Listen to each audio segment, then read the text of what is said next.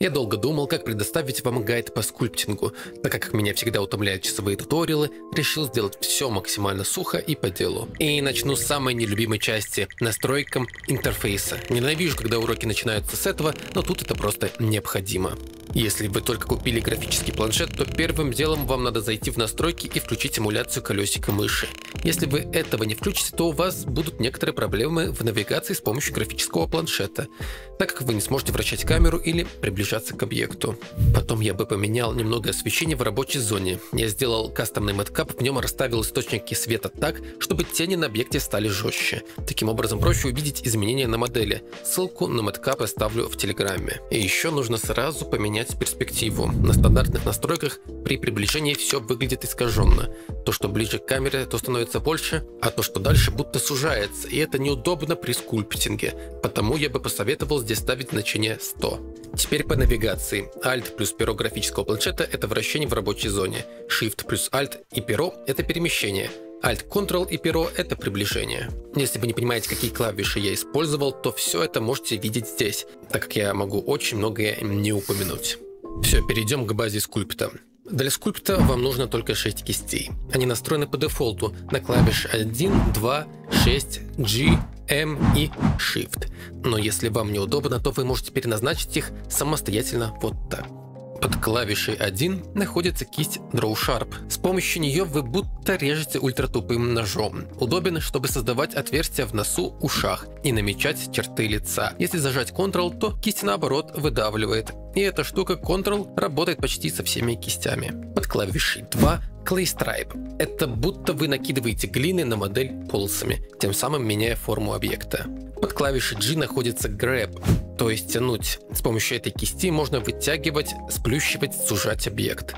А вот M — это маска. С помощью нее мы рисуем черным цветом по объекту, тем самым указываем, что тут другие кисти не смогут влиять на эту темную зону. Убрать маску можно сочетанием клавиш Alt плюс M. Нам эта кисть нужна, чтобы вытянуть шею и уши, выделяя маской нужный фрагмент. Клавишей Ctrl-I инвертируем маску и кистью Grab вытягиваем выделенную зону. Следующая кисть это Scrape. Она у меня под клавишей 6 переводится как скребок, то есть зона, по которой вы водите, становится ровной. И бонусом я иногда использую кисть Line Project. С помощью этой кисти вы проводите линию или даже луч, который обрезает модель. Удобно использовать на низкополигональных моделях. А с помощью зажатой клавиши Shift вы можете сгладить поверхность, и это единственная кисть, которая функционирует при зажатии клавиши. Если клавишу отпустить, то включается предыдущая кисть. Чтобы увеличить размер кисти, нужно нажать клавишу F. А вот менять силу нажатия не обязательно. Дефолтные настройки работают нормально. Но если сила нажатия вам нужна, то это сочетание клавиш Shift плюс F. Далее расскажу про основные операции и проблемы при скульпте. Чтобы подразделить объект на большее количество вокселей, я использую Remesh. Сначала с помощью клавиши R я вызываю сетку, которая показывает размер вокселей. Стандартная цифра 0,1.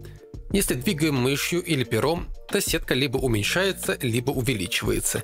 И чтобы замедлить смену цифр и сетку, просто зажимаем клавишу Shift. И все становится медленнее. Клацаем левой кнопкой мыши, чтобы применить сетку. Нажимаем Ctrl-R, чтобы совершить Remesh. Также Remesh помогает объединить два разных объекта. Просто нужно в Object моде с помощью Ctrl-J объединить объекты, а уже в Sculpt моде с помощью Ctrl-R совершить Remesh. Иногда такое случается, что после ремеша объект может выглядеть вот так. Это происходит из-за того, что модель не замкнута или в ней есть где-то отверстие. Чтобы исправить эту ситуацию, надо перейти в Edit мод и выбрать отображение эджей или вертексов, иначе не будет нужного меню. Зайти в меню Select и выбрать эту функцию. Это поможет вам найти, где есть отверстие в объекте и сделать вывод, почему это произошло. Чтобы замкнуть контур, нажимаем клавишу F, и теперь ретопология нормально работает. Еще после деформации примитива может возникнуть такая штука, что вот эта окружность кисти больше похожа на эллипс. Чтобы кисть стала нормальной, то тут нужно вернуться в Object Mode и нажать сочетание клавиш Ctrl плюс A и применить масштаб. И тогда все станет нормально. Когда вы работаете с кистью Clay Stripe и пытаетесь сделать, например, ухо, то вы можете заметить, что объект деформируется с другой стороны. Это происходит из-за того, что часть окружности кисти заходит за объект. Это можно пофиксить уменьшением размера кисти, либо включением функции Face Only. Но запомните, если вы не отключите эту функцию, то при большем количестве полигонов могут возникнуть проблемы в виде непредвиденных вот таких морщин. Также нужно не забывать о функции симметрии при скульпте. Включение вот тут. И часто такое бывает, что в процессе работы что-то асимметрично из-за регулярных ремешей. Или попросту в процессе вы забыли включить симметрию. Если это случается, то это можно исправить вот так. Еще такое бывает, что вы работаете сразу с несколькими объектами, которые не объединены и или не соединены. И надо ведь как-то быстро переключаться между ними. Для этого есть сочетание клавиш Alt-Q. И последнее. Если вы хотите нанести какой-то узор на модель, то тут нужно взять вот эту неиспользуемую нами кисть.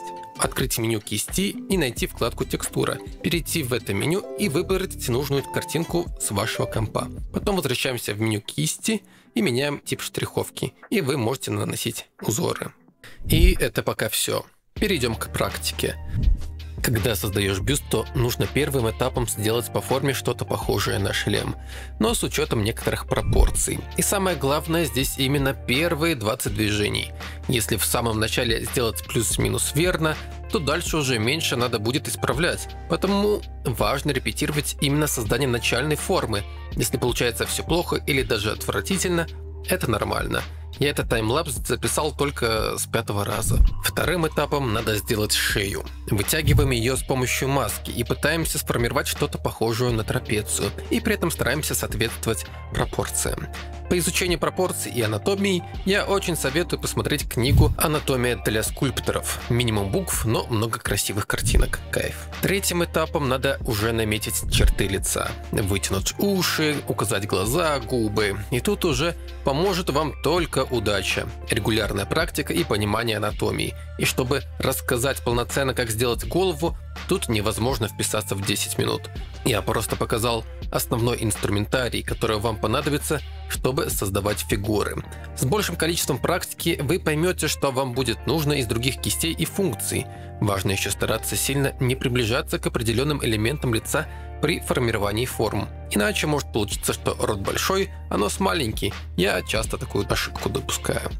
Еще начинайте с малого количества полигонов и по мере надобности увеличивайте полигонаж. И не сильно расстраивайтесь, что ваши модели с каждым разом не становятся лучше. Один раз у вас получится отличная модель, а за ней три отвратительных, а потом снова хорошая. Постоянно практикуйтесь, наблюдайте, как делают другие художники, смотрите таймлапсы и ищите свой удобный путь создания моделей. И уже позже вы придете к стабильным результатам. Думаю, я рассказал вам о всем, чем пользуюсь сам. Подписывайтесь на канал, приходите на стримы. Всем пока-пока.